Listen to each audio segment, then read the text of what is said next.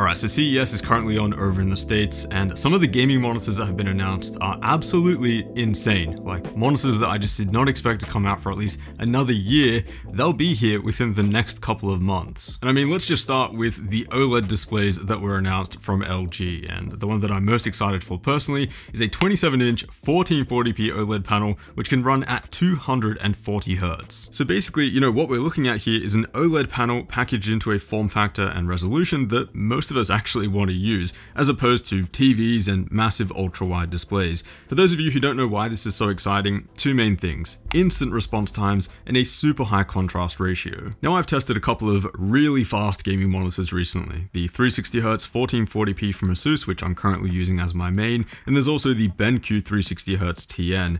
Both of these monitors have average response times of about 1.5 milliseconds, which is blazingly quick. Most good gaming monitors are about, you know, 4 to 5 milliseconds in terms of response times.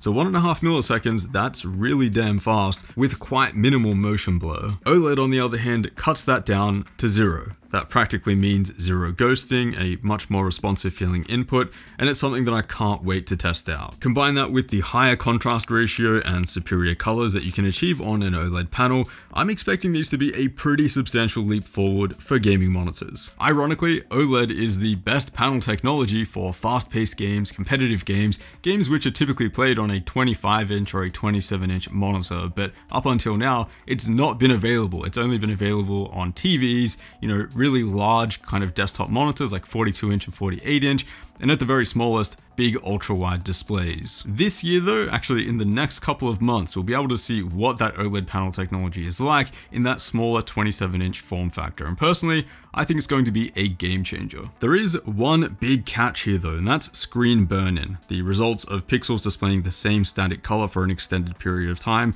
So if you're someone who plays a lot of one specific game, which to be honest is most of us, this could potentially be a big, big problem. Static elements on your screen like a crosshair or HUD elements, for example, definitely prone to burn in on these OLED panels, but more on this in just a minute. So the 27-inch 240Hz 1440p, LG are calling it the 27GR95QE-B very appealing name as usual. It's a thousand bucks, which it seems to be actually fair given their technology, but depending on how good it is in reality, and it's actually available for pre-order at the moment. As usual though, I'd always recommend waiting for full reviews, which hopefully mine is not too far away. Now it looks like Asus have also taken this same 27-inch OLED panel and implemented it into one of their monitors, which they're calling the PG27AQDM. Again, big selling point here is that we finally have that OLED technology in a 27-inch 240Hz form factor. Asus's model visually looks very similar to LG's, most notably those bezels are ridiculously small. Now it's borderline false advertising what Asus have done here and you know other monitor companies do it as well. They make the bezels look extremely thin but in reality they're not that small. They are still very very small as you can see in this video here but not like groundbreakingly thin as some of the marketing material would have you believe. Cooling these OLED panels though might be a bit of a challenge. I suspect both LG and Asus will have some active cooling implemented implemented here, but hopefully the fans aren't too loud. Both monitors seem to have a fairly boxy looking heatsink and cooling element towards the back and center of the display. Now just coming back to the burn-in problem on OLED panels, we get a little sneak peek of some of the features that are included on the new Asus OLED to help prevent this as shown by the OSD. Again, burn-in is caused by static elements displayed over an extended period, and so here we have some features to help mitigate and prevent that. So things like screen dimming, pixel cleaning, a pixel cleaning reminder, and you've also got a pixel shifting feature which we've seen on previous OLED panels. So hopefully these features are enough to prevent burn-in on these OLED panels, or at least mitigate it to the point where you don't actually notice it in day-to-day -day use, because, you know, I don't want to be on my desktop or on like Twitter or something and see a crosshair in the middle or like a health bar in the bottom left. That would be very, very distracting. And it's also one of these things that only time will tell, you know, how bad potentially the burn-in can get on these OLED panels.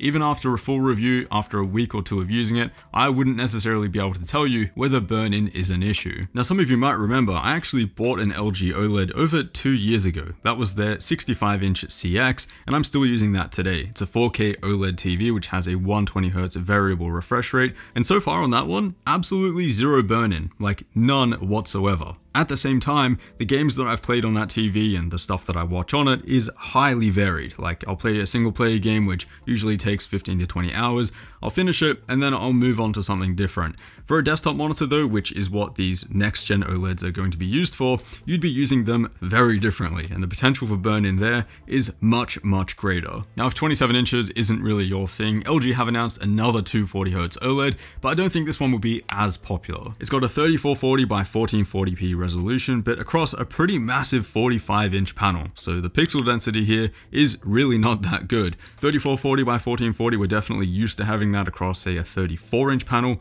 not 45 inches. So I think for racing sims this could be pretty cool. The curve on the panel is also pretty aggressive with an 800R curve, and you probably wouldn't be playing those games at more than 3440 by 1440 anyway. As a desktop monitor and work display though, I feel like that low pixel density would be pretty annoying. But if that's the kind of monitor that you're into, you'll also have another couple of options from Samsung. One of them being the OLED G9, which is 49 inches, 32 by 9, and has a resolution of 7680 by 2160. So basically it's like having two 4K monitors side by side. Honestly, if the implementation is good here, it might just replace my current dual 4K monitor setup because this thing looks pretty insane. 2023 will also be the first year of 500Hz panels. ASUS have announced the new 540Hz PG248QP, which at least in terms of refresh rate is the fastest gaming monitor in the world. It is however only 1080p and uses a TN panel. I am though pretty interested in testing it out, especially for games like Overwatch, which can consistently run at those sort of frames.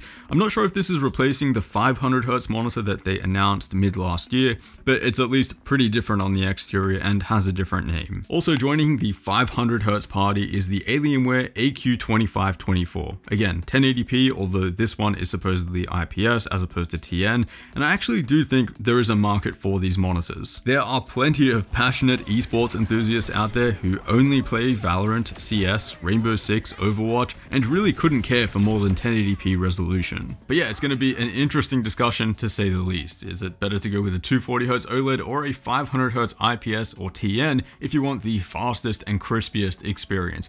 240Hz OLED, believe it or not, is kind of looking like the better option, which, yeah, it's a lower refresh rate, but you're cutting the response times down to zero milliseconds, which potentially would give you a faster input experience as well, again, despite that slightly lower refresh rate. Not only that, but the visual experience and enhancement of an OLED panel with true blacks and a ridiculous 99% DCI-P3 coverage, that should be no contest in terms of image quality, at least versus IPS and TN. Now, of course, we'll have to wait until I have them both here in the studio and that way I can share my thoughts on 500Hz versus these 240Hz OLEDs, but hopefully that won't be too much longer, at least for the OLEDs, which seem to be coming out in the next couple of months. And yeah, those do seem to be the ones that I'm most excited for, those 27-inch 1440p 240Hz panels. I mean, man, I would go as far as saying that that's probably the one piece of tech that I'm most excited for this year. I think on the hardware side, we're pretty covered. Like, CPUs don't seem to be getting that much faster. GPUs are already blazingly quick and have really outpaced monitor technology to begin with, but these 240Hz OLED panels, I mean, the monitors in 2023 are just going to be different. But yeah, that's pretty much it. Hopefully you enjoyed this kind of quick thoughts video of some of the insane gaming monitors that are coming out this year. Uh, I'd usually link them down below, but they don't exist yet, so don't bother looking there. Uh, at least though, you can subscribe if you haven't already, because I will be testing out as many of these OLED panels and gaming monitors as I can get my hands on on, so definitely stay tuned for that. Otherwise, thank you for watching, and I'll see you all in the next one.